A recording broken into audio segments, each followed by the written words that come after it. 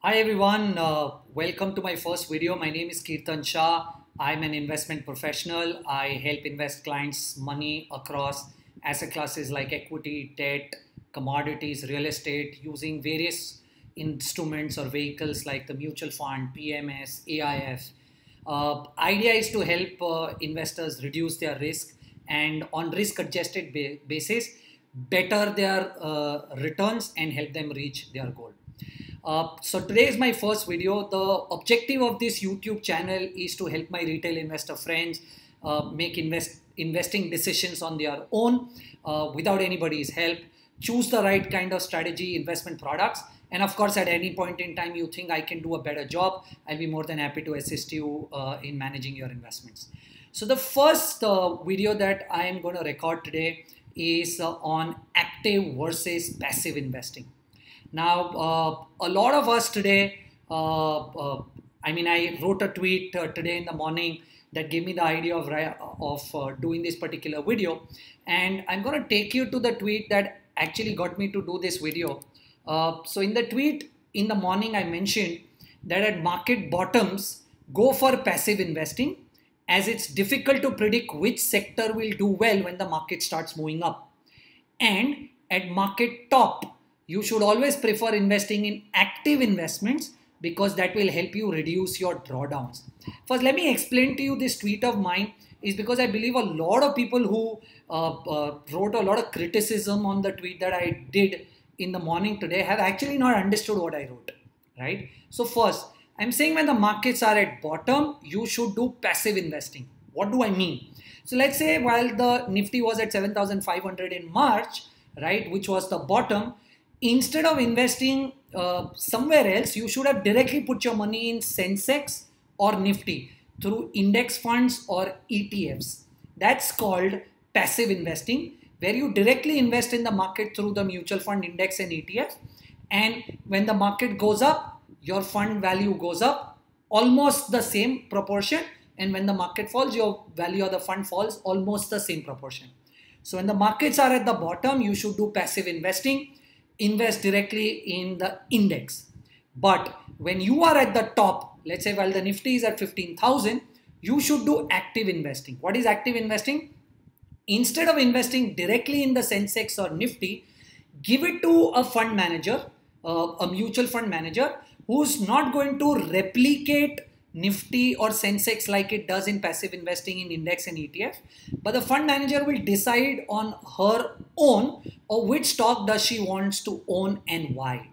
I think while the markets are at the top, active investing, uh, picking stocks by the fund manager will do a much better job than investing directly in the Sensex and Nifty. Right now, I got a lot of criticism when I actually wrote this. So, this video is to help you understand why this strategy will really work in my opinion. And i'm going to help you understand demystify this with some data points. Of course uh, all the criticism that i got through the tweet is most welcome. Most of them are my friends i understand uh, the conversation. And this is just uh, an idea that i got that will really add in my opinion a lot of value to retail investors. Now why do i make this comment that passive investing will do well at market bottom and active investing will do well at the market tops. Before I move ahead, look, it's practically impossible to be able to figure out when is the market going to top out and when is the market going to bottom out. So I'm not saying that you predict when will it top out or when will it bottom out. All I'm saying is at 7,500 when the market fell from 12,500 to 7,500, you know that the markets were close to the bottom, right? It could have fallen more, of course, but you knew you were close to the bottom. At 15,000 Nifty, I, I'm not saying that Nifty won't go up, but I'm saying that probably while you look at uh, it in the hindsight, you will realize that 15,000 Nifty was very close to where the market topped out. Right? So I'm not saying you time when to uh, when it'll top out or bottom out, but all I'm trying to say is in your in your basic understanding, if you think that the markets are lower, go for passive investing, invest directly in Sensex and Nifty. And if you think that the markets are higher, right? Go for active fund management. And why why do i say that? Let me prove that to you with some interesting data points. So what did i do right? I did two things. First of course i looked at the data from the 23rd of March 2020, right, where the Nifty bottomed out, to the 16th of Feb 2021, where the Nifty topped out, right? So on the 23rd of uh, March 2020, Nifty was at close to 7,610 rupees on closing. And on the 16th of Feb 2021, Nifty hit 15,313 on the closing basis. So I took the bottom and I took the top, right? Now I am saying that had you invested on the 23rd of March when the uh, Nifty was at bottom, you should have ideally gone for a passive strategy, investing directly in Nifty and Sensex instead of choosing active investment. Now, why do I say so? Let me show you some data points, right? So if I choose Nifty, which bottomed out at 7,610 and topped out at 15,313, Nifty gave a return of 101% in this period from 23rd of March 2020 to 16th of Feb 2021. Now let me, now I have here highlighted or taken all active large cap mutual funds, right, which were present at that point in time, right? Data is available, right? I might have missed out on three, four uh, uh, AMCs or funds, and I'll tell you why I have let them go off because while I was trying to do the down market situation, which was between 2015 and 16, these funds didn't exist. Which is why I've eradicated those funds that didn't exist in 15, 16. Otherwise, I've broadly taken all funds that are today available or rather they were available in 15 16 as well uh, in the large cap category. Now what have i done? So each of these funds i have figured out what was their nav when the market bottomed out on the 23rd of march 2020 and what was their NAV when the market topped out on the 16th of Feb 2021 and I've done that for all funds. So like say for example ICICI Blue Chip the NAV on the 23rd of March 2020 was 28 and when the market topped out which was 16th of Feb 2021 the NAV was 56 which means ICICI Blue Chip Fund gave a 97% return in the same period right? Now what did I tell you? I told you when you are at the bottom if you discuss about investing on the 23rd of March 2020 while you were at the bottom nifty was 7610 you should have invested directly in the index and not through active funds. Why? Is because nifty gave 101% returns and all the other funds except two funds in the entire universe everybody underperformed nifty. This fund gave 98 74 85 90 89 91 96 this is one fund that outperformed which is franklin blue chip Everybody else underperformed 96%, 95, so on and so forth. There are funds which gave 75%. There is this another fund which gave you more than the index, which was 104. So we are saying there were only two funds in this period on the active side when the market bottomed out and then when it topped out in that period there were only two funds which could beat the index index gave 101% return Franklin Blue Chip gave 102% return. So it beat the index by 1%. And you have the SBI Blue Chip, which gave 104% return, which means that it beat the index by 3%. Which means that out of the universe of 28 funds that qualify for this study that I did, only two funds, two funds out of 28 funds could actually beat the index when the markets were going up. That is a mere 7% of the total funds universe outperforming the market. Which is why I am telling you that when you think that the markets are at bottom and they are going to go up from here, you should always choose investing in index funds instead of doing active fund uh, investing. Now let's talk about the reverse. Let's talk about the reverse, right? So let's say when the markets fell. So in the tweet I wrote, when you are at the top, and from there if the market starts going down you should ideally invest in active funds and not do ETF or index investing. So what I did was I went back uh, and took some data points where I understood that when was it the last time that the markets fell 20%? Okay, before this fall happened that we are talking about. When was it that the markets fell 20%? and I understood that it was between the 4th of March 2015 to the 26th of Feb 2016. So between this period from the 4th of March 2015 to the 26th of Feb 2016, index actually fell 21%. So whenever the index falls below 20%, you call it a recession, right? So Nifty closed at 8922 on the 4th of March 2015 and it was 7030 on 26th of Feb 2016. So this is the period where the market fell more than 20%. Now, like I told you, if on the 4th of March 2015, had you wanting to do investing, where probably in this example, I'm trying to explain that it was the top and from there market would have fell. I know it is impossible to predict, but I'm saying it's easier when you have 15,000 Nifty and you have 7,500 on the Nifty. You know it is close to the top and bottom. But look at this now. So from 8,922 when the Nifty started falling to 7030, you should have actually done active investing. Why?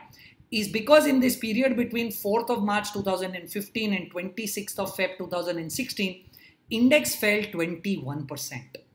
While index fell 21%, while index fell 21%, there were only three funds which fell more than the index on the active fund management space. This was one fund which fell 24%. There was this another fund which fell 1% more, 22%. And there was this another fund which fell 3% more, which is 25%. Now imagine from the top when the market started falling down, out of the universe of 28 schemes, 25 schemes fell less than the market, right? That is exactly where the fund manager's skill of picking the right stock comes into picture.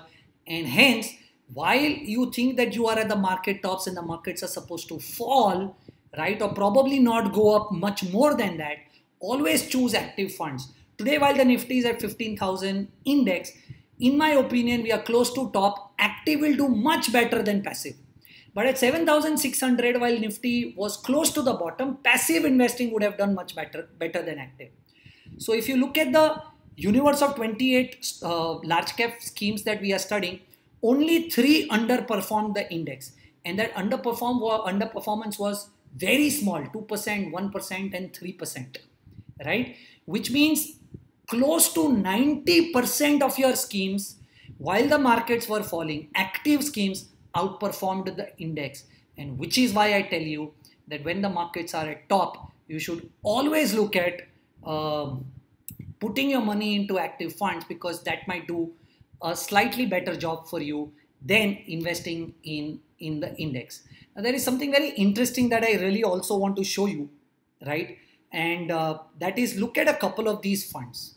So let's say look at look at this fund of ours which has fallen 54% right do you see 54 so while while the markets fell from the 23rd of march 2020 to 16th of uh, to 16th of, uh, uh, sorry, this fund has underperformed the index, my bad.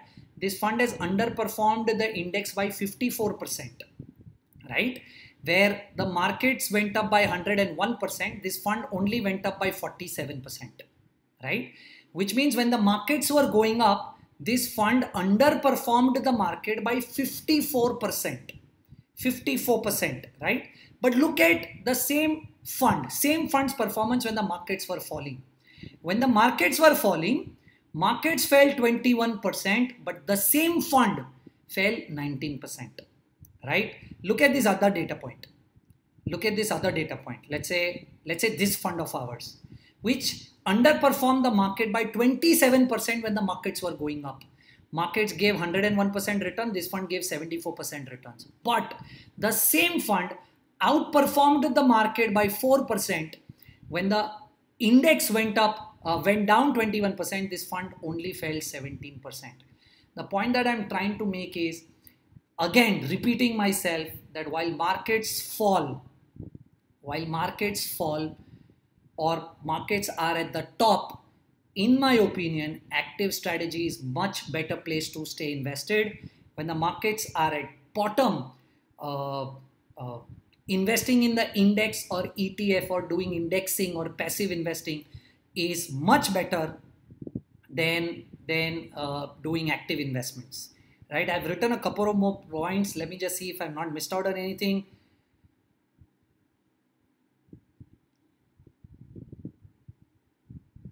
Okay, perfect. I think I've covered everything that I really wanted to convey to all of you all in this uh, video. I hope you've liked this video of ours.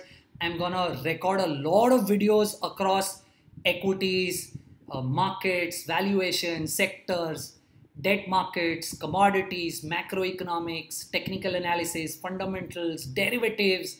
And I'm sure if you subscribe uh, to the channel, you will end up learning a lot of things.